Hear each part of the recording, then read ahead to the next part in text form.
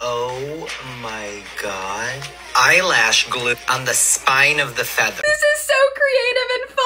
I don't even know which one we should try first. Since I have darker hair, I'm thinking maybe the purple or the blue, but like look at the turquoise. We're gonna trim a very little bit off the spine of the feather. We have the handy dandy Kiss Lash Glue. I'm just gonna use my finger to kind of rub this in, and then we're gonna apply the feather in the part. Instead of using like hair gel and hairspray, I'm actually just gonna use a hair mask. I'm just gonna apply this down like the sides of the feather. And the goal here is to just like saturate the feather and get it to blend into my hair so it looks like actual hair. Clearly this looks like not great so far, but we're just gonna take a brush. I actually don't have a comb with me. Just kind of brush it in. I am genuinely making this so much more difficult on myself because I don't have a comb. We're making progress. It's starting to look a lot better. Even as it is, it just looks so cool and this is so fun. I'm gonna run to the store and grab a comb. Which color should we try next?